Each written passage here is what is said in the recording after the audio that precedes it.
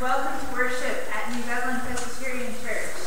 If you're visiting with us today, we want to extend you a special welcome. We're very glad that you're here, and we hope that you find the presence and love of Christ here. There are a number of announcements this morning.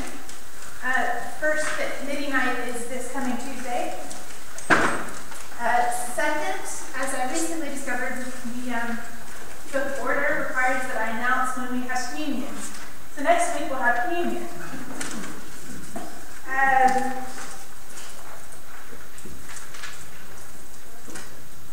what else needs to be brought forward?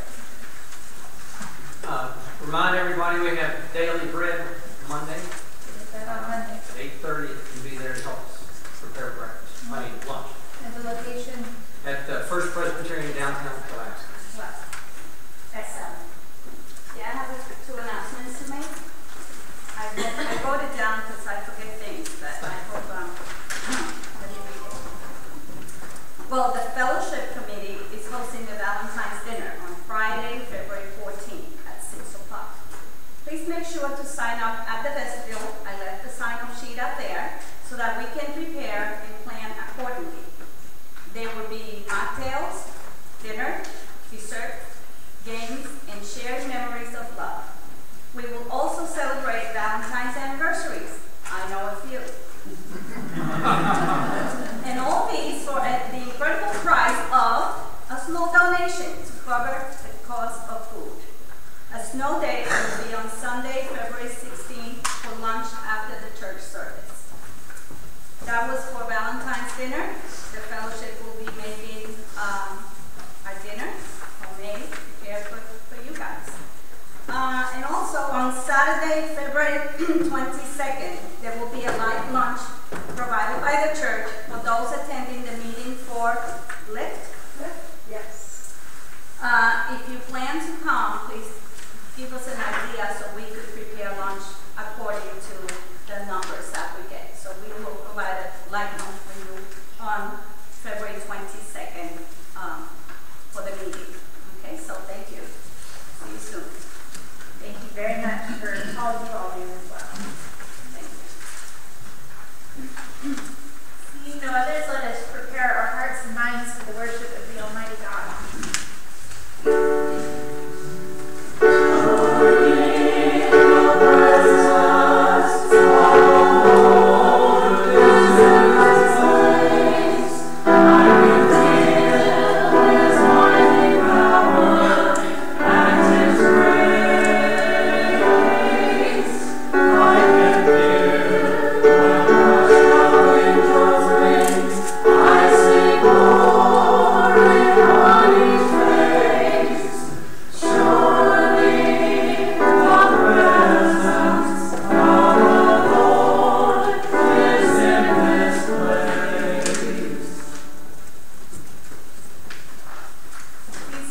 Join me in the to worship.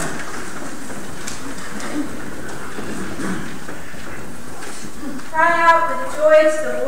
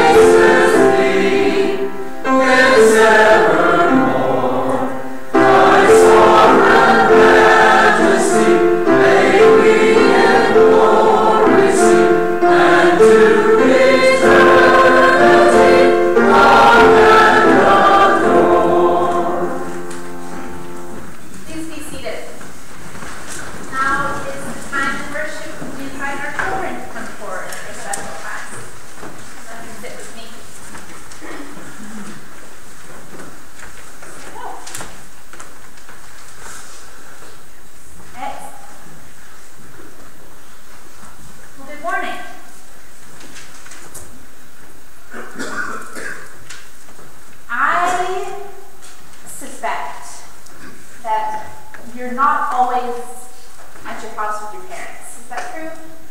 Yeah, you go to school, or you go to daycare, you go see your grandparents sometimes.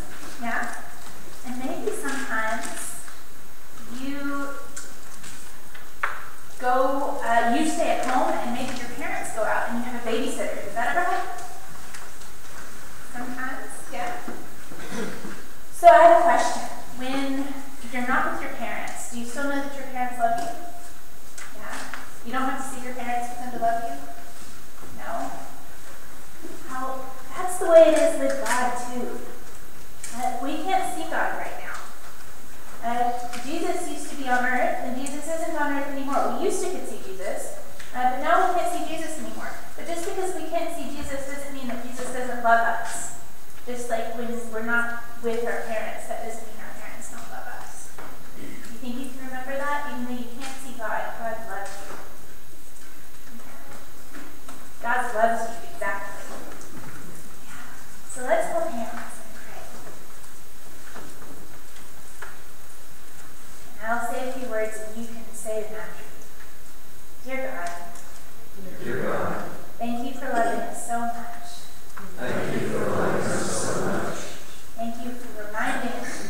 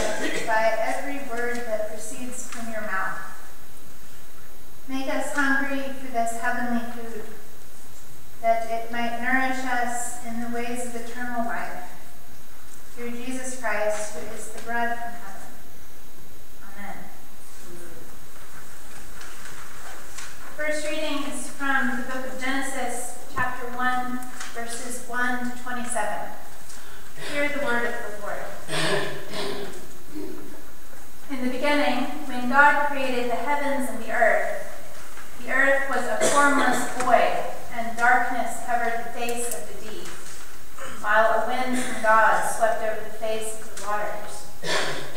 Then God said, Let there be light, and there was light. And God saw that the light was good, and God separated the light from the darkness. God called the light day, and the darkness he called night.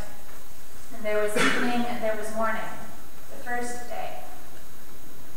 And God said, Let there be a dome in the midst of the waters, and let it separate the waters from the waters. So God made the dome and separated the waters that were under the dome from the waters that were above the dome. And it was so. God called the dome sky, and there was evening and there was morning, the second day. God said, Let the waters under the sky be gathered together into one place, and let the dry land appear. And it was so. God called the dry land earth, and the waters that were gathered together he called seas. And God saw that it was good. And God said, Let the earth put forth vegetation, plants yielding seed, and fruit trees of every kind on earth that bear fruit with seed in it. And it was so. The earth brought forth vegetation, plants yielding seed of every kind, and trees of every kind bearing fruit with seed in it. And God saw that it was good, and there was evening and there was morning, the third day. And God said, Let there be lights in the dome of the sky to separate the day from the night, and let them be for signs and for seasons and for days and years, and let them be lights in the dome of the sky to give light upon the earth. And it was so. God made two great lights, the greater light to rule the day, and the lesser light to rule the night, and the stars. God set them in the dome of the sky to give light upon the earth, to rule over the day and over the night, and to separate the light from the darkness. God saw that it was good. And there was evening and there was morning, the fourth day. God said, Let the waters bring forth swarms of living creatures, and let birds fly above the earth across the dome of the sky. So God created the great sea monsters, and every living creature that moves of every kind, with which the waters swarm, and every winged bird of every kind. And God saw that it was good. God blessed them, saying, Be fruitful and multiply, and fill the waters of the seas, and let birds multiply on the earth. And there was evening and there was morning, fifth day. And God said, Let the earth bring forth living creatures of every kind, cattle and creeping things, and wild animals of the earth of every kind. And it was so. God made the wild animals of the earth of every kind, and the cattle of every kind, and everything that creeps upon the ground of every kind. And God saw that it was good. Then God said, Let us make humankind in our image, according to our likeness, and let them have dominion over the fish of the sea, and over the birds of the air, and over the cattle, and over all the wild animals of the earth, and over every creeping thing that creeps upon the earth. So God created humankind in his image. In the image of God he created them. Male and female he created them. God blessed them, and God said to them, Be fruitful and multiply, and fill the earth and subdue it, and have dominion over the fish of the sea, and over the birds of the air, and over every living thing that moves. God said, See, I have given you every plant yielding seed that is upon the face of all the earth, and every tree with seed in its fruit. You shall have them for food. And to every beast of the earth, and every bird of the air, and to everything that creeps on the earth, everything that has the breath of life, I have given every green plant for food. And it was so. God saw everything that he had made, and indeed it was very good.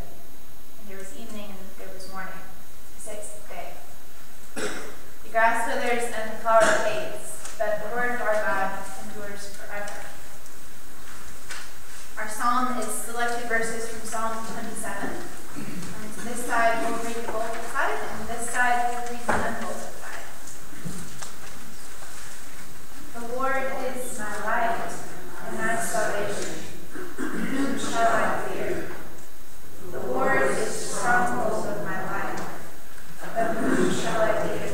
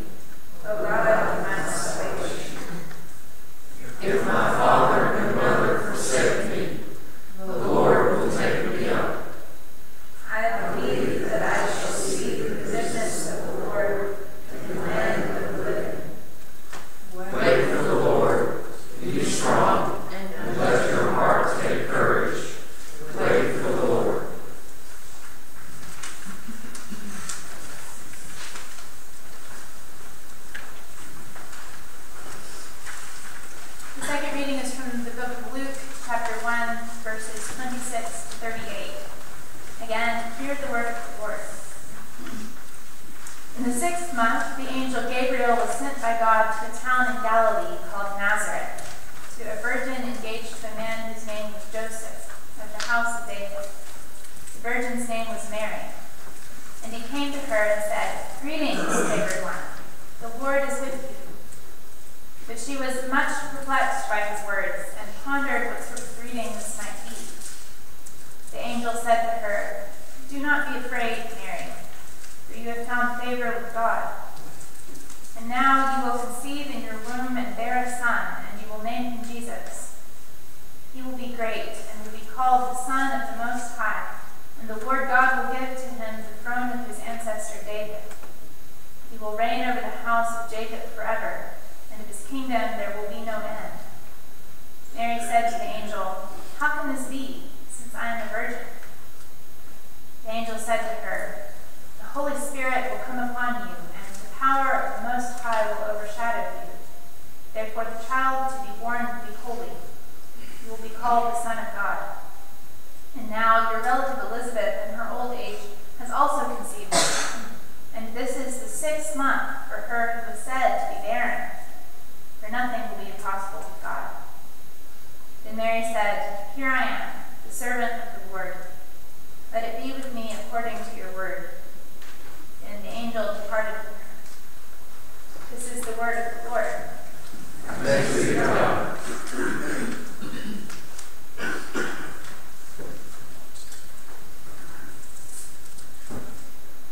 When God shows up, when the Holy Spirit shows up, new things happen. That's what we find out on the first page of the Bible. In the beginning, it says, God created heaven and earth. And in the beginning, it was formless and void. Tohu wabohu, it says in Hebrew. And you can hear what that means, can't you? It means willy nilly. Tohu. Everything is everywhere. So, what the Spirit does, what God does, is begin to draw out every part of the world and set it in a right relationship with all the other parts. He does it first with the day and the night, right? Light and dark. Day and night are set in a circular, orderly pattern, day and night, and day and night. And they don't get confused and they don't uh, fall out of the pattern.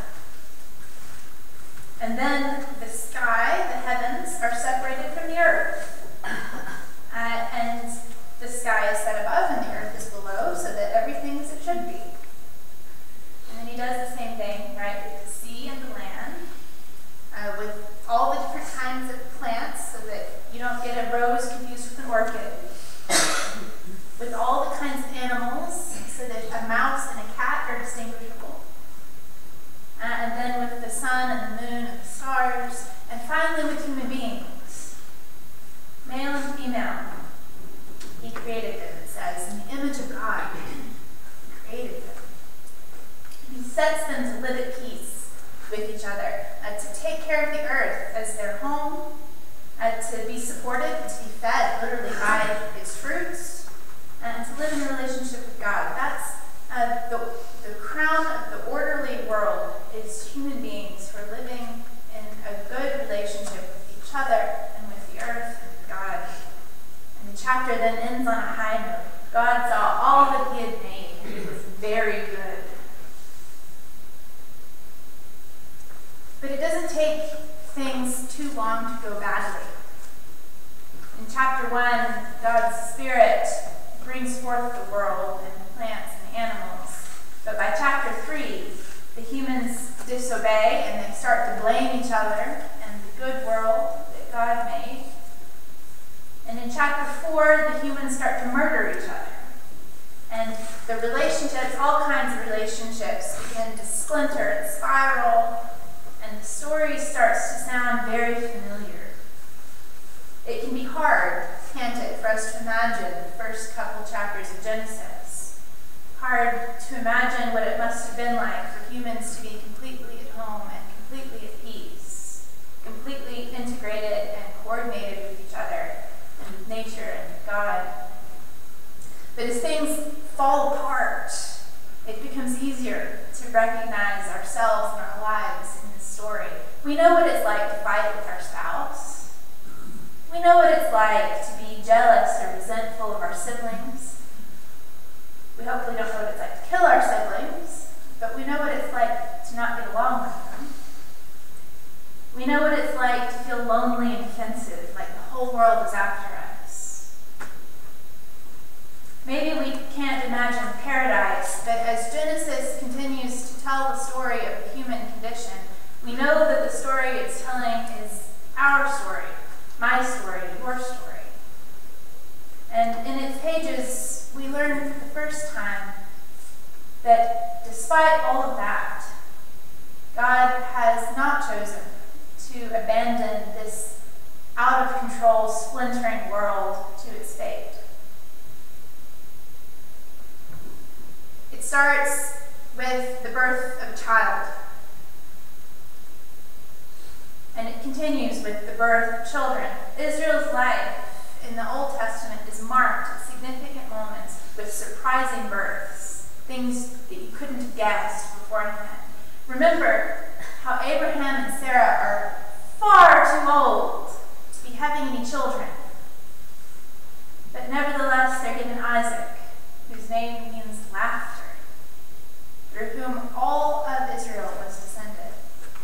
Remember how Moses was saved as a baby in a surprising way from the order to kill all the Israelite boys, and instead is brought up in the palace and eventually rescues his people from slavery.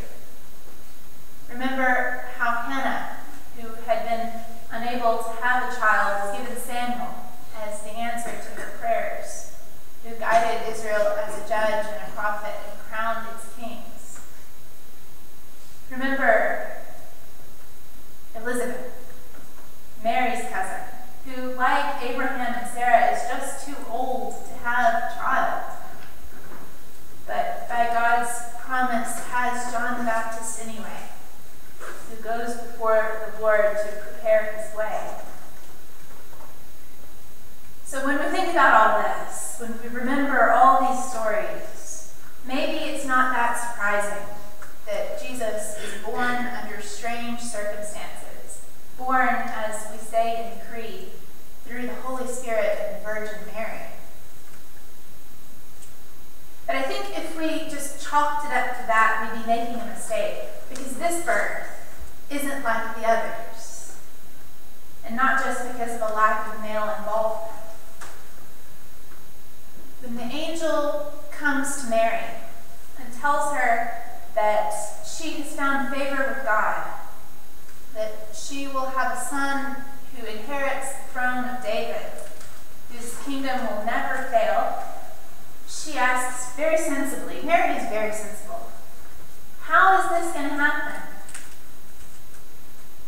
And the angel says, The Holy Spirit will come upon you, and power of the Most High will overshadow you.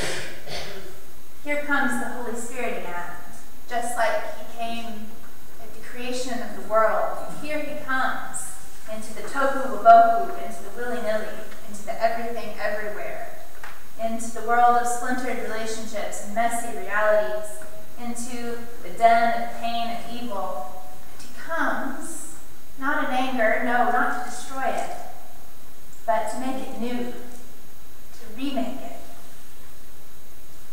Here he comes, the Holy Spirit, to draw peace out of the chaos. And Gabriel promises that that peace will never fail. The other surprising verse scattered throughout the Bible, they whispered hints of this one.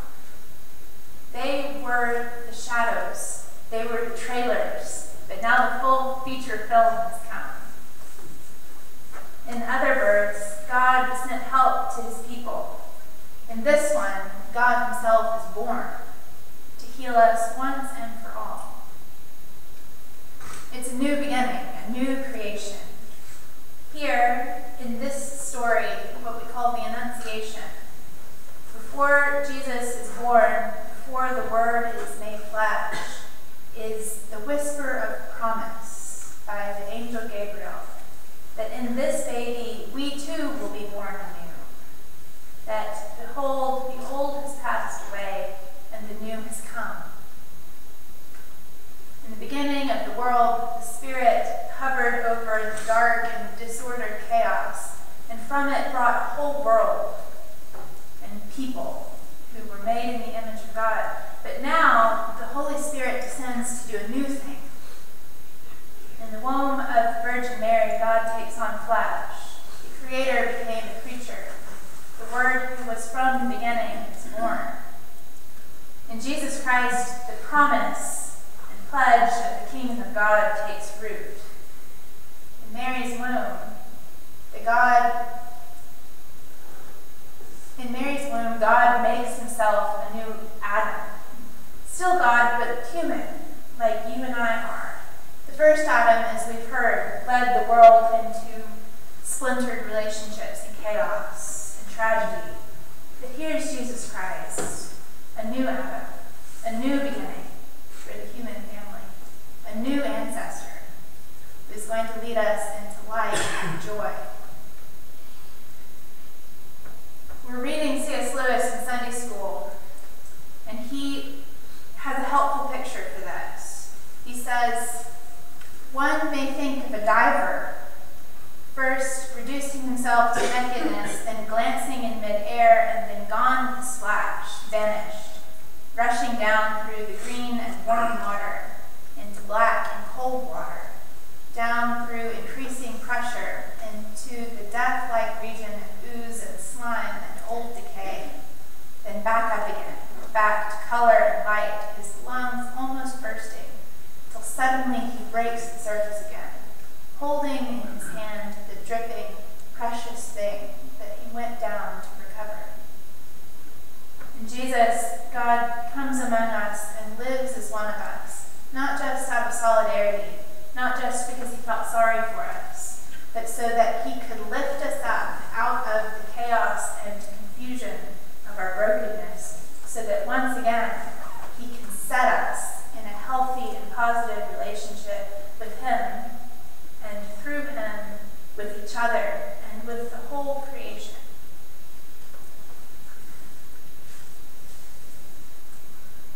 When we say the Apostles' Creed, we say that we believe in the Jesus Christ who was conceived by the Holy Ghost and born of the Virgin Mary. And when we say those things, we're not just repeating the biological history of Jesus. That's, we are doing that, but that's not all we're doing. It's a historical fact, but not only a historical fact, it's also a promise. And the promise is this that because Christ took on a human body and a human nature in the womb of Mary, because in him the Holy Spirit works a new creation, because in his body the alienation between human beings and God is healed, our alienation will also be healed. All of it. All the way back to the early goings of Genesis. All of our conflict, all of our jealousy, all of our anger and murder, all of the offense, all the conflict, all the disobedience, all of our homesickness, all of it will be wiped clean. All of it will begin anew. God in Christ will wipe every tear from our eye, and nothing will ever separate us from him again. So to the God of all grace, who by the power at work within us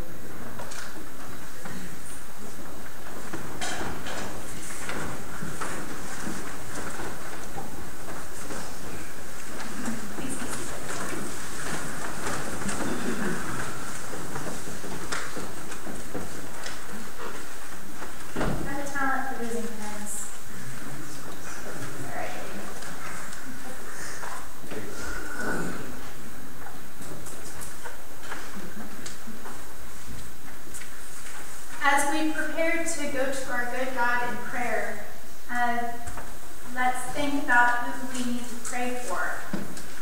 Um, I know of a few, uh, and you know of more. Ramenta's family still needs our prayers, uh, especially as her sister is going through a health crisis at the moment. Uh, Roxy is still healing from her broken foot, and Jane Slate needs our prayers for health. Uh, and Terry, I understand, needs uh, our prayers he has what is potentially a hernia. Um, but as he goes and figures that out, let's pray for him. And joyfully, uh, the Brown's grandson is being baptized this morning, and his name is Sean. And let's pray for him as well as he begins his new life in Christ. What else should be brought to our attention? Um, let's remember, uh, remember uh, the family of Ronnie Koch. He passed away this week of cancer.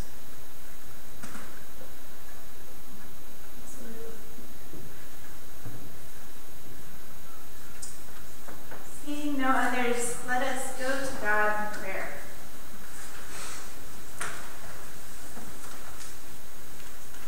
Lord our God, we praise you that you love us, that you love this world that you've made, that you hear our prayers out of your love, and that when we do not know how to pray, when our prayers are clumsy or feel inadequate, that your Spirit prays with us in sighs too deep for words. There is in this world so much that is wrong, so much that causes us anxiety and fear and deep sadness.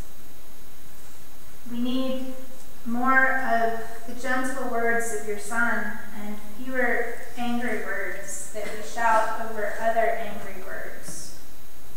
We need your glory so that we can aspire to be more like you and less like selfish or self indulgent creatures. We need your grace in a world bent on revenge, your truth in a world that seems to trade in lies, your holiness in a world that lacks it, your life in a world that is mired in death. We pray especially for people dealing with violence or tragedy wherever they may be. And today we especially remember the people of China dealing with disease and the people of Australia de- dealing with fire.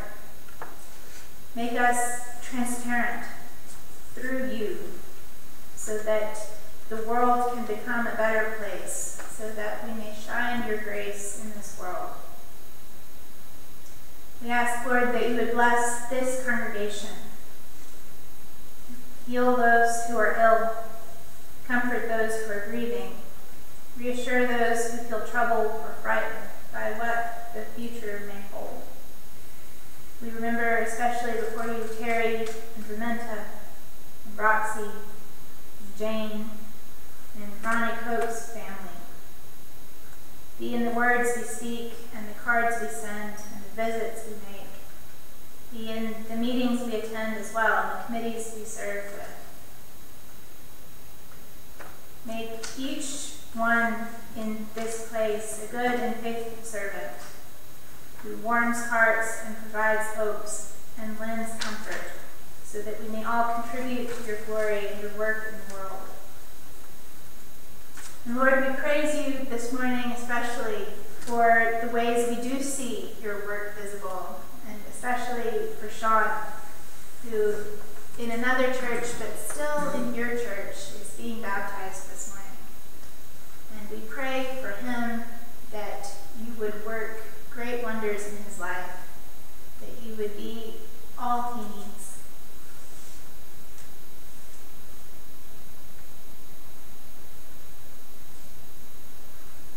Lord our God, we offer these prayers, joining our voices to the prayers of all across the world. and long for the day when all your children will live in your peace and praise your name. Until that day, we pray that you would give us patience and hope and root us in Jesus, who taught us when we pray to say, Our Father, who art in heaven, hallowed be thy name. Thy kingdom come, thy will be done, on earth as it is in heaven. Give us this day our